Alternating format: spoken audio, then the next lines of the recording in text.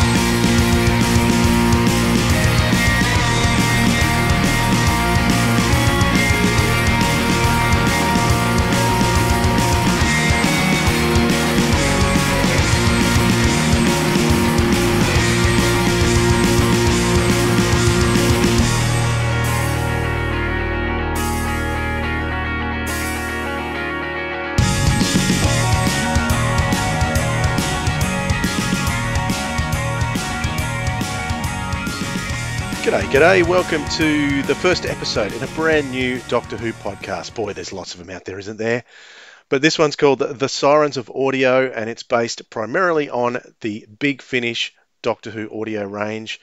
And by extension, we will be discussing in time some of the Doctor Who audio universe. But we're going to be sticking to audio because it is a medium that I love, and I am your host. My name is Dwayne, and as you can hear from my accent, I am located in Australia. Specifically, I'm located in Tasmania, which is an island off the south of uh, the eastern side of Australia, about an hour's flight from Melbourne. Uh, this episode, I'm going to be on my own, but I will be joined in future episodes by a co host. So, looking very much forward to that. Um, we're going to be talking about the very first Big Finish audio released in 1999 called The Sirens of uh, Time, which is where this podcast gets its name from. You see what we did there? On the subject of podcasts, so I'd like to just tell you a little bit about the podcast that inspired me to do this in the first place. And I was never one for podcasts. I'm a very late bloomer when it comes to listening to them. But there has been one that I have listened to right from the very beginning. And that is Progtor Who. I, I came across Progtor Who through Mark Atkinson, who's a musician that I got to know through my time on radio when I was doing a music show. And I'm a big fan of progressive music. Mark Atkinson was a and still is a progressive musician, and I once interviewed him on my show. It wasn't long after that I came up with an idea for a segment on my radio show called Progtor Who, where I talk about new episodes of Doctor Who surrounded with a little bit of prog. At the very same time, or just before, I was ready to do that, I got a message from Mark saying, Hey, would you like to listen to my new podcast called Progtor Who? Going to mix up a little bit of prog music and talk about the latest Doctor Who and, and do Doctor Who reviews. Can you believe it? It was actually my idea, Mark. No, it wasn't. well, possibly we got the idea at the same time. Who knows how the universe works? But I've been following Mark Atkinson, Bob Fleming, Craig Stimson from the very beginning, and those guys have kept me entertained for many, many years and through many episodes of their podcast, and I've really enjoyed that. Um, of course, more recently, um, John Aitken and Suki Kark have joined Progtor Who. Bob Fleming's gone off and he's starting a, a Trek This Out podcast uh, on uh, the new Picard series and Star Trek in general.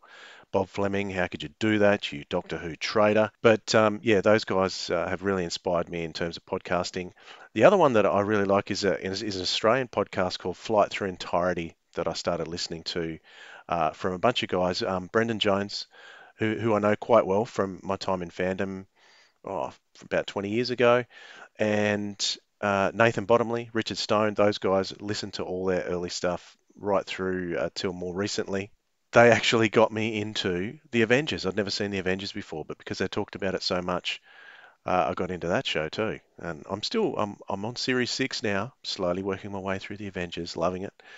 But Flight Through Entirety is the other podcast that's uh, really inspired me too. So thank you guys. Just a shout out to you. So uh, the two podcasts, Progtor Who, Flight Through Entirety. Kudos to you. I'm listening to a lot more, and I'm even creating my own. So there you go. But to tell you a little bit about me and my experience in Doctor Who fandom, I've been a Doctor Who fan all my life.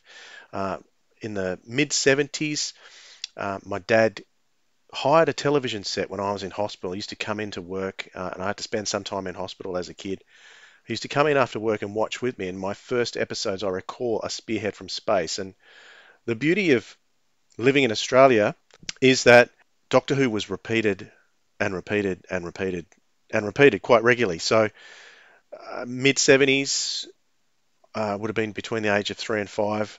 Yeah, so that's when I saw Spearhead from Space. I remember that. I remember snippets of um, the Time Warrior as well. And then there was Tom Baker throughout those years. I didn't watch so much on TV, but discovered Doctor Who more through the Target novelizations. Then in the mid 80s, when Colin Baker's season 22 was out, that was when I was uh, in my first year in high school, I think, and I was absolutely obsessed with that season of Doctor Who. In particular, Revelation of the Daleks was the story that got me so into fandom, there was no getting me back out. So I joined the Doctor Who fan club from that point on, and I was eagerly anticipating new Doctor Who from then. But as it happens, because the ABC in Australia was still repeating Doctor Who, the majority of Doctor Who I saw was the Pertwee era. They were, they were showing around that time. And so, yeah, mid 80s, Jon Pertwee, he was my doctor. So I can say he's my doctor, but I was not born in that particular time. I'm a bit younger than that. So always heavily obsessed with Doctor Who. Started uh, recording Doctor Who episodes off the air with my beta cassette recorder. And so I had a large beta collection of off air Doctor Who's, starting with, if I recall correctly, yes, it was the Robots of Death was number one in my collection. And um, so Robots of Death, Talons of Weng-Chiang, Horror Fang Rock, they were the three they're the three that I've watched more than anything in the history of Doctor Who. So, yeah, Talons being my favourite story. Although it's not cool to like Talons of Weng-Chiang these days, is it? A lot of the podcasts that I listen to, they they really hassle it, don't they? So I started getting into the new adventures, the missing adventures during the wilderness years. Was very excited when the telly movie came out, I was hoping that uh, a series would be produced. Unfortunately, Fox went with Sliders. I also was watching Sliders at the time, which I really enjoyed, but I thought it was rubbish compared to Doctor Who. However, I think in the long run, it was better that it turned out the way it did. Yeah, it was a few years later that Sirens of Time was released. I do remember that coming out, but I was sort of not keeping so much in touch with Doctor Who news. It was uh, not until about 2002, a couple of years later that someone loaned me a copy of their Chimes of Midnight CD. And it was the Chimes of Midnight that got me instantly hooked on audio because I love McGann as the Doctor, and I wanted to, I wanted to experience McGann, and yeah, what a way to to experience it. We're going to be talking about Chimes of Midnight over the next month or so on this very podcast. But let's talk a little bit about Big Finish themselves Big Finish as a company have been going for over 20 years now. But Doctor Who wasn't their first release. Their first releases happened about a year earlier when they acquired the license for the uh, the Virgin range of new adventures uh, of Professor Bernice Summerfield. So they're adapting some of those to audio. But the history of Big Finish goes back even further than that. And you can get a full in-depth history on Big Finish if you go to bigfinish.com and look for the for the title uh, "Talking About My Regeneration." It's a documentary, an audio documentary that that went out on Doctor Who magazine, I think, that's now available for free on the Big Finish website, and it goes behind the scenes of the first audio Sirens of Time, and has some very interesting insights about how we came to have Big Finish audios. Now it all it all started when an amateur company was started in the early 80s by Gary Russell and Bill Baggs called Audio Visuals. And for the, for three seasons, they produced a number of um, of audio visual stories of really really high quality. Amateur, of course. Um, Nicholas Briggs was involved as well, but I'm not exactly sure when Nicholas came on. I, I can't recall whether he came on for the final season because there was a bit of a gap between the third and fourth season of audio visuals. But anyway, the audio visuals were of a really high quality. Then Bill Baggs decided to go and start BBV, Bill Baggs Video. And if through the wilderness years in the 90s, there were quite a few Doctor Who related but never Doctor Who mentioned series of videos, many of them made by Bill Baggs at BBV. And he also did a lot of audios as well. So he had audio adventures for sale before Big Finish, but he was getting around the licensing issue by not mentioning the Doctor by name or any of the the characters by by name or anything that was copyright or trademarked or whatever. But he would allude to it. So we knew it was talking about Doctor Who, but it wasn't a direct licensed product of Doctor Who. So when Bill Baggs went off and started his company, Nick Briggs came on. I think that might have been when he came on for the last season. He was playing the Doctor, and they made some great audios throughout that time. And in actual fact, there were some great guest actors as well throughout that time. They made 29 audios in total over the four seasons that they did. And they had such guest actors as Peter Miles, you know, Peter Miles who played Nyder in Genesis of the Daleks. They had Michael Wisher, also from Genesis of the Daleks. Nabil Shaban, who played Sil, he, he was playing parts as well. They had these guys um, playing these parts, so they got were able to get some of those actors to to be involved as well, which was really cool to be involved in those amateur productions. Several years after the fourth season, so the fourth season ended in the early 90s. The TV movie came out, and Gary Russell was quite involved with the TV movie. He novelized the, the movie, and he approached the BBC because they were getting the licenses back from uh, from America and overseas, bringing them back in house. So he was asking the BBC at that time whether he could obtain a license to produce official Doctor Who audio. But the BBC was a bit precious at the time. They declined it couple of years later, Gary Russell approached Virgin and negotiated with Virgin to do the Benny Summerfield stories, um, the early ones. Benny Summerfield, by the way, is still going at Big Finish today, so it's the it's the longest running character in Big Finish. They went decided to go back. Jason Haigh Ellery and Gary Russell went back to the BBC once again, gave them a couple of samples of these audio CDs, uh, the Benny CDs, and Steve Cole at the BBC, who was working on the missing stories collections at the time.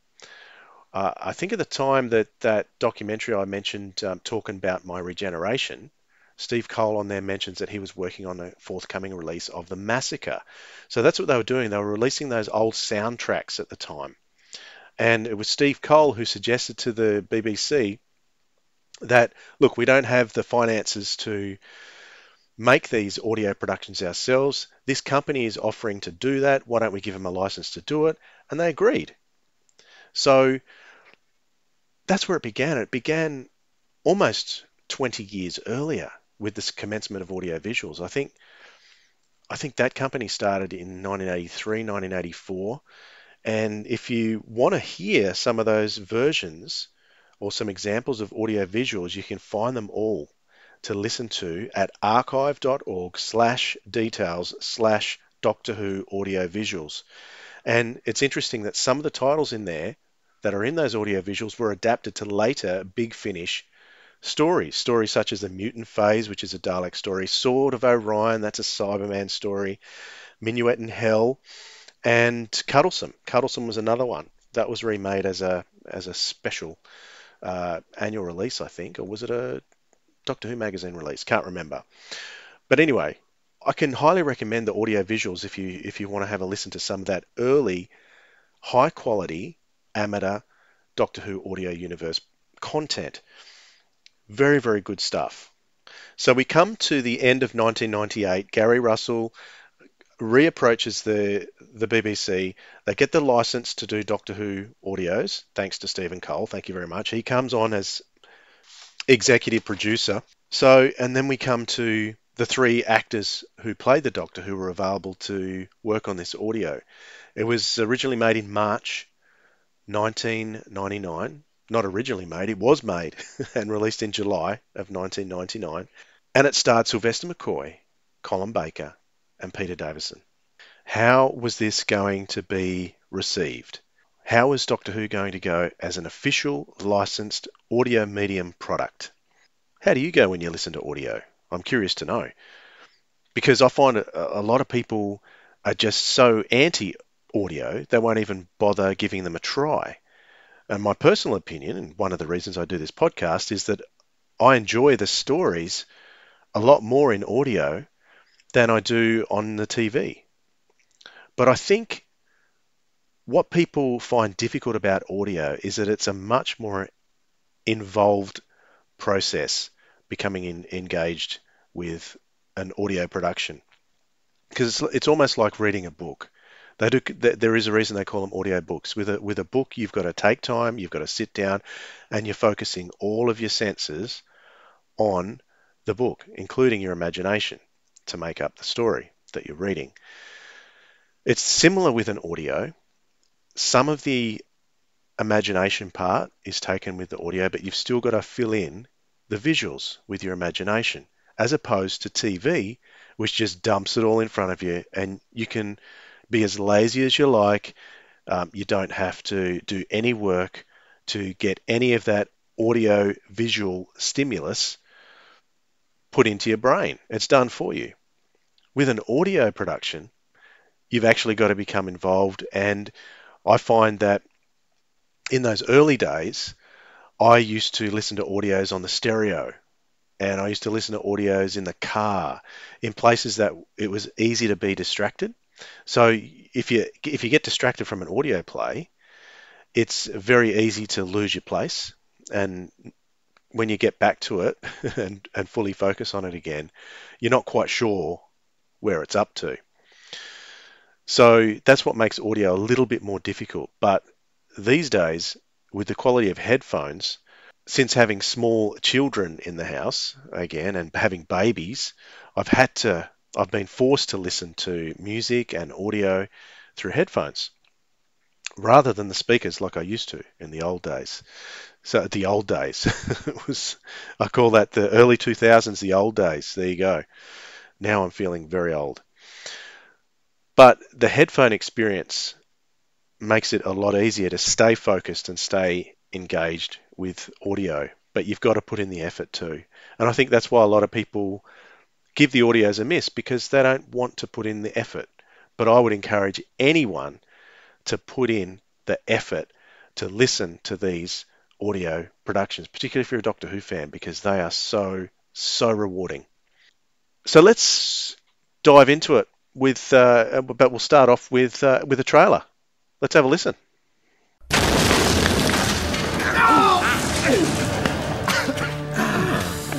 You all right? I think I've broken something. What about you? Yes, I'm fine, thanks. Yeah, I rather think I broke your fall. Oh, sorry. I'll survive. Oh, can you two help me up? Yes. Okay. Yes. Yeah, No. Careful. careful. Oh, we're going to make a fine team with you two having to help me walk. Fire torpedo! I'm not a delegate, I'm known as the Doctor. I'm a Time Lord from the planet Gallifrey, and my TARDIS was recently blown apart in a spatio-temporal explosion, which I imagine is now known to you as the Kurgon Wonder. Does that cover everything?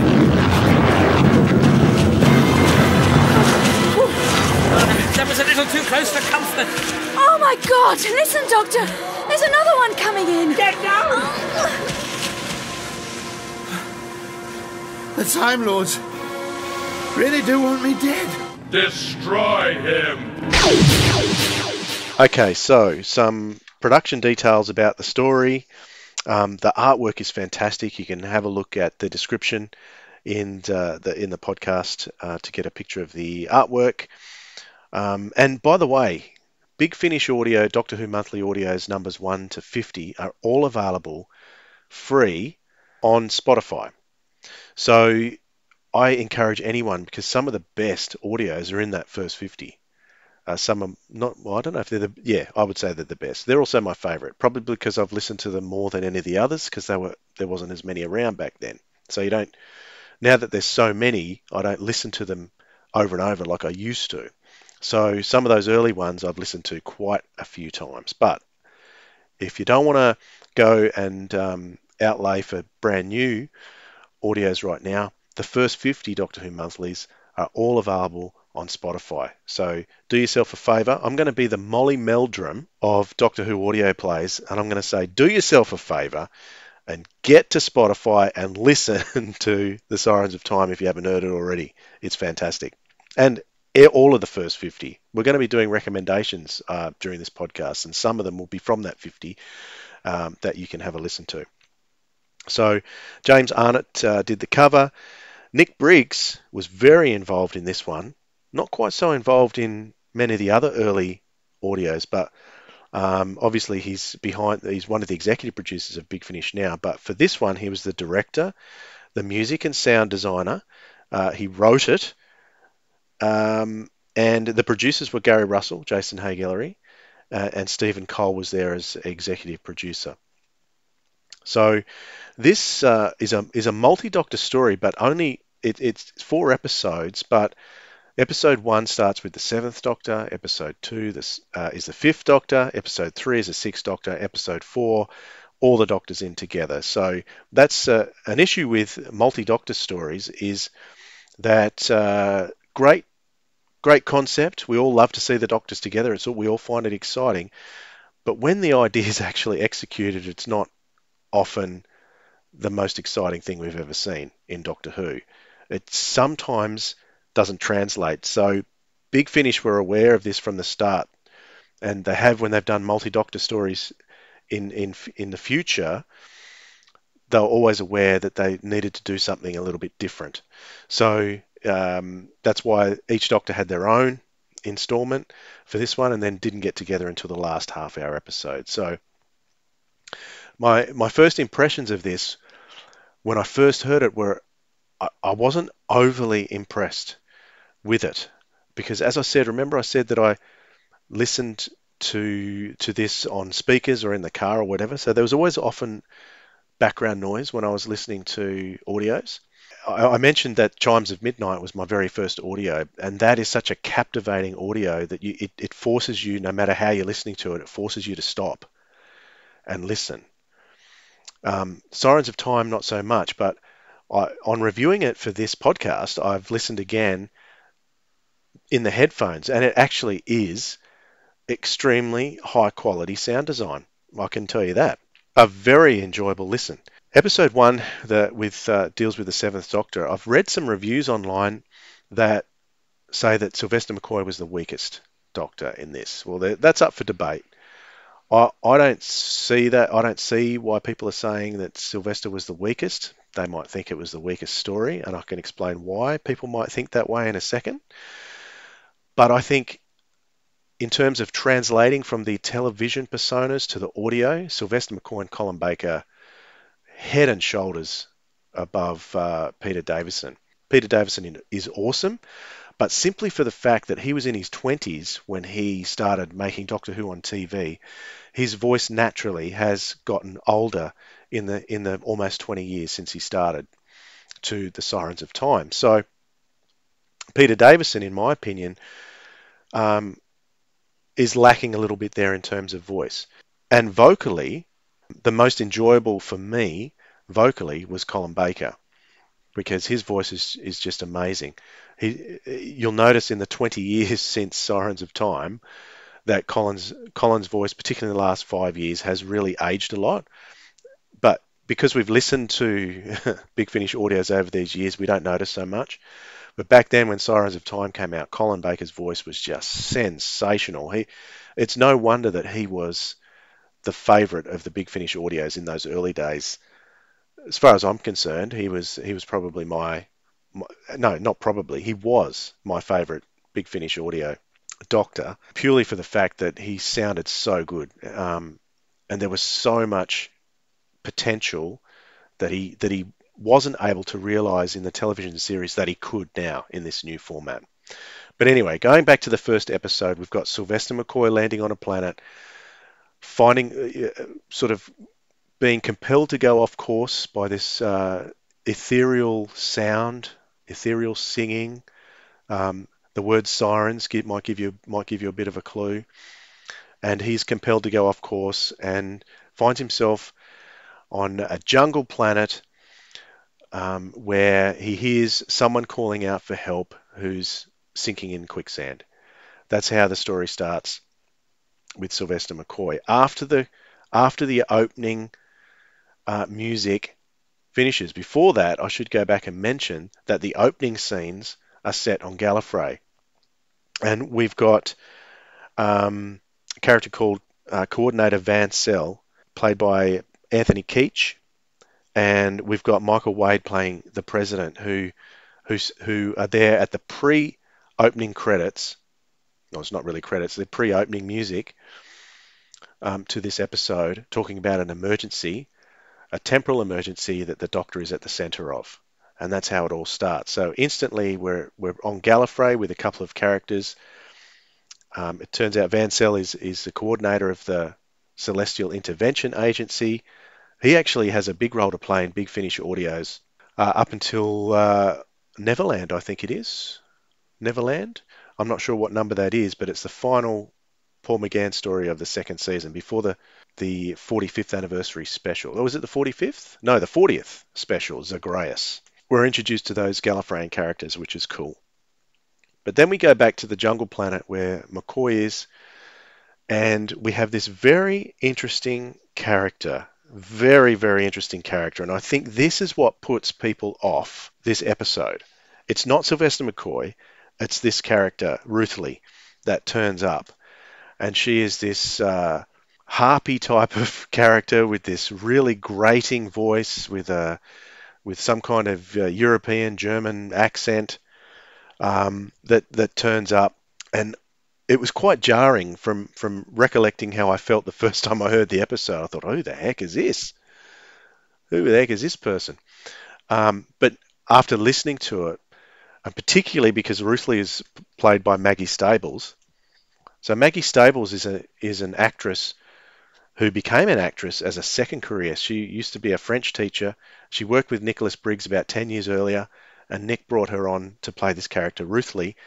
As it happens, a little while later, Maggie Stables goes on to become probably the most loved and the best portrayed companion character of the Big Finish audios, Evelyn Smythe. She's a companion to the Sixth Doctor. And Maggie Stables is the consummate actress when it comes to that part. She is perfect as Evelyn. Probably probably my favorite audio companion. At least the audio companions that have been invented specifically for, for audio. And she works so well with Colin Baker. But here in this story, Maggie's playing a really strange character called Ruthley, who's working with uh, with a planet to uh, to get this character of Sancroft, knocked off. We don't know that at the time, at the early part of the episode.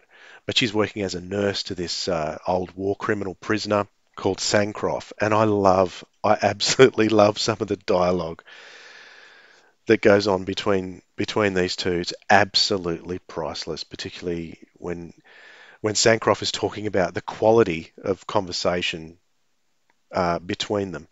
But I do so enjoy our little chats. Some may call it spitting, belching, and passing wind, but to me, your every utterance is simply music to the ears. And it turns out that Sancroft is a knight of Velyshaa. So you've got to, it's a, spelt double A, you've got to pronounce it Shah at the end of it. And the Knights of Velyshaa uh, are characters who are going to go on, and particularly one knight of Velyshaa is going to have a pivotal role in Nicholas Briggs' Dalek Empire series, which was not too far down the track. And the Knight of Velyshaa, off the top of my head, I cannot think of his name, but I know it was played by Gareth Thomas, also known as Blake from Blake 7. Awesome portrayal, absolutely awesome. But I digress from this story. The Knights of Velyshaa. this is the first appearance of the knights. Yeah, this Sancroft is is an old war criminal that's being kept on this planet alive, and ultimately, uh, some assassins come and try and knock him off. Ruthley's involved, and this character that the Seventh Doctor rescues from the quagmire that sort of becomes a pseudo companion is an interesting one. She she's played by Sarah Mowat, and she goes into appear the next couple of episodes as well. So the episode kind of ends on a on a cliffhanger that doesn't immediately get resolved because we go into episode two with going straight into the Peter Davison story. And what I love about the Peter Davison story, and a lot of people say this is the strongest story, and I think just as the portrayal of Ruthley is what gets on people's nerves in episode one, in episode two, I think it's the portrayal of Captain Schweiger in this episode by Mark Gatiss that wins everyone over. He's a really sympathetic character, a really nice man for a German. um, it's actually quite a basic story. Um, the Doctor finds himself away from the TARDIS and he tries to get back to the TARDIS. I couldn't help but think with the Time Lords trying to contact the Doctor, it sounded a lot like the scene from Enlightenment where the White Guardian was trying to contact the Peter Davison Doctor. Very, very similar vibe to it. Yeah, so it's just a case of the Doctor being separated from the TARDIS, trying to get back to it because the Time Lords told him to do so. And yeah, just the, the events there that happen don't really come to fruition until right at the end of the fourth episode. We don't know what the. It ends on a cliffhanger with the Doctor floating, trying to get into the TARDIS with uh, bombs going off. Episode three, the Colin Baker episode. As I said before, Colin Baker's voice is just superb. It just drips with honey. It's that good. It's like he hasn't been away for a single second. It's like he was never booted off the show in the first place in such an unceremonial way. The story itself is probably the, the least, it's to my mind the least memorable story out of the three.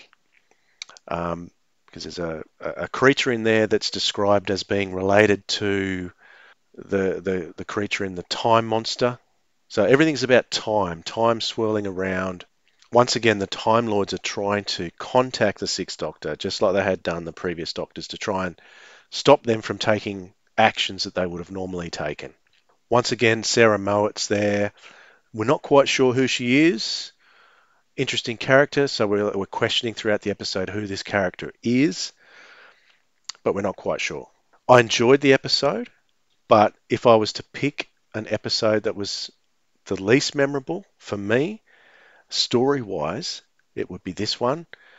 But the most interesting is possibly this one, just for the simple fact of hearing Colin Baker just take back to the doctor like he'd never left it.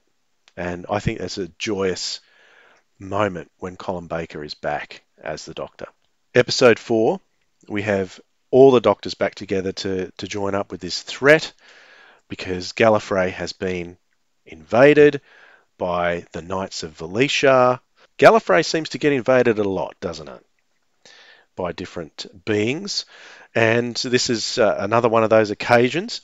So this is where the the openings pre-title scenes at the start of episode 1 and all the cliffhangers for the doctors they all start coming back together we start to find out sarah sarah mowat her character because she she's uh, she comes in episode four as knight commander Liena so who is she knight commander Liena uh, the temporon from episode three what she trying what is the temporon trying to do it all starts coming together in episode four so it's it's a very it's a kind of a timey wimey type thing, very well thought out by Nicholas Briggs, uh, in my opinion, and all comes together nicely. You have your multi-doctor banter going on, which is pretty typical, and I I, I really enjoyed it.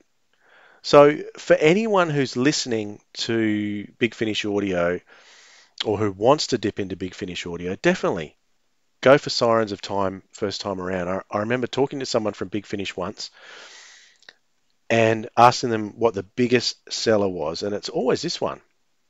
And I said, but there's so much better stories. And they said, yeah, but this is always the first. So the first one is always going to be the, the best seller and the one that people um, look to as a starting point, obviously.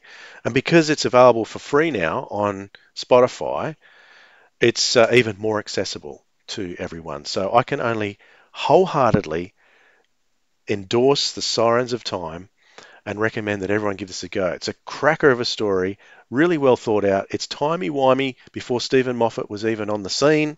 Um, it's all over the place. If you love Steven Moffat timey-wimey stuff, well, this is this is Nicholas Briggs style. And that's one question I, I it always sticks in my mind. The the authors, some of the authors from Big Finish have gone on to to to, to write for the TV series, but Nicholas Briggs has never been one of them, and I just don't understand why. Because Nick Briggs's stories, man, he's got he puts some thought into them, and they are sensational stories. Um, we'll touch on some of those in, in due course over the podcast. So now I give the Sirens of Time a hearty 3.5 headphones out of 5, and I'll recommend to anyone go to Spotify, grab it, have a listen to it, and listen to it with headphones. You won't be disappointed. Thanks very much for listening to episode one of the Sirens of Audio. What did you think? Oh my goodness. You can leave me some feedback if you like. Leave us a comment on Twitter. You can contact me there, which is um, Audio Sirens on Twitter. Sirens of Audio at gmail.com if you want to send me an email. If you want to keep up, keep up with our website, it's sirensofaudio.com. It's quite easy, really. Just do a search for Sirens of Audio. We'll be there. You can even, if you go to, to where we're hosting the podcast at anchor.fm slash sirens of audio, you can leave a voice message on what you think of the podcast, what you think of the story we reviewed, um, and we can feature your voice message in future episodes. So I encourage you to do that too. What I'd love you to do, if you want to do that, is I'll tell you what we're doing over the next month. So we're going to record these podcasts in blocks of, of four episodes. So um, so it's not a weekly thing for us, but it will be for you once it gets going, but it won't be for us. So the first four stories have been decided on that we're going to be talking about in depth with my co-host. I'll keep that a secret for now, just to, to keep you in suspense about who the co-host might be. But the stories that we're going to discuss are my favorite, Chimes of Midnight. We're also going to talk about, that's going to be one episode. We're also going to be talking about the Psychic Circus, which I, reading the blurb, I'm not sure if it's a prequel or a sequel. There seems to be something timey-wimey going on there with uh, the the most recent monthly Doctor Who audio Psychic Circus. We're also going to be looking at Eldrad Must Die, and we're going to be looking at The Reaping. So they're the next four audios that we're going to be considering on the Sirens of Audio over the next four episodes. So feel free to give us uh, your feedback. Send us your thoughts on those episodes. As I said, I'll say it again anchor.fm slash sirens of audio. You can leave a little message clip. I've tried doing it myself, but Anchor won't let me do it. They say, nice try, but you can't send yourself a message. So send us a message and we'll include it in our podcasts in the future. So, without uh, further ado, I'm going to say farewell for now, and don't forget to listen to Doctor Who Audio because Doctor Who Audio rocks.